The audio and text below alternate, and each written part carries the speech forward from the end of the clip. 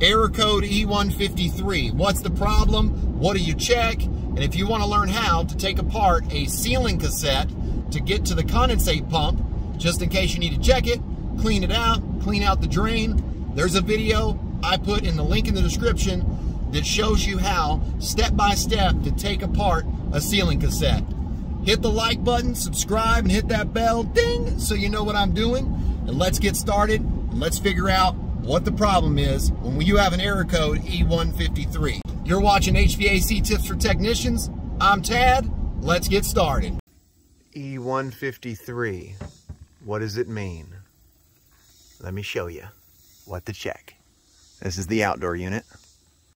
Downloaded the service manual for the cassette that I'm working on and when I scroll down to look at the error codes it shows me E153 is indoor floating switch secondary detection. So check. I have the RLC basic and troubleshooting guide and this right here shows us the error code E153. Take a minute, pause the video, read this. It should be able to help you, give some insight to you so that you can better handle this error code and know what to do. Pause the video. And if you want this guide, I can send it to you via email. Just click the join button, become a member. Let me know in the comments, say I joined, and I will send this to you. Little pump. Got a little crud in it. Drain tube. Right here's the drain tube. Got to clean it out and the pump. Check valve. Check valve's plugged up. Clean it out got it cleaned. Put my vacuum on the tube up there, sucked out the drain, and put it all back together now. When I have an error code E153, it usually tells me that there's some maintenance that's required. Usually, your pan is full, your float switch is activated, it shuts the unit off so that water doesn't pour out of the pan, and then you can go in there, you can take the unit apart, and then you can figure out, hey, is the drain tube stopped up? I need a vacuum cleaner probably, and I may need some towels. You don't want to make a mess in the customer's house. takes a little bit of time, but usually it's just maintenance. Sometimes I've had to order a condensate pump, but most of the time it's just a drain tube. You take it all apart, you use a vacuum cleaner, you clean out the drain, you're good to go. You can type in the search bar samsunghvac.com slash downloads and it's going to take you to a page that looks like this.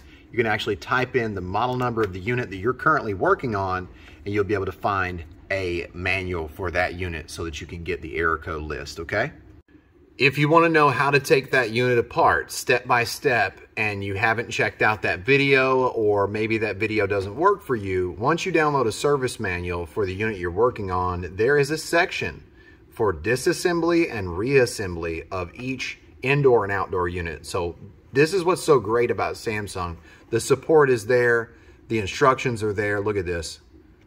Got that fascia panel, you take it off, and then you got a couple screws for the electrical control panel, and then you take those side covers off, and then you got four screws for the four corners, then you take the control panel off, and you can slide the wires through that front fascia panel, and then you got these four screws in the four corners that hold that drain pan up on the chassis of the indoor unit.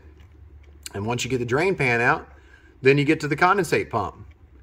So super easy, super simple. I've got a video for you, or I just showed you how to get the service manual so that you can get to this section of the service manual. And it actually shows you the tools that you need for disassembly and reassembly. Hope you enjoyed today's video. I hope you learned something. Let me know in the comments what you learned. Let me know if you had an error code E153, what was the problem so that other people can learn from your comment. If you don't have any questions, that's fine. Let me know who you are and let me know where you're from down in the comments. If you want that troubleshooting guide, click the join button, become a member. Let me know in the comments, say I joined, not just subscribed, but you join. You click the join button. If you don't know how, comment below, say I don't know how to join. I'll send you a link. You can click that link, join, and then I will send you that troubleshooting guide via email. Before you leave, subscribe, hit that like button, hit that bell, ding, so you know what I'm doing. Really appreciate your support. I really appreciate all my subscribers, all my viewers. I hope to have way more time in the future to do more content because I know there's such a need for education. Remember HVAC, uh, SamsungHVAC.com, and then slash downloads is where you can get the service manuals. Thank you so much. You've been watching HVAC Tips for Technicians. I'm Tad, and I'll keep you cool if you let me.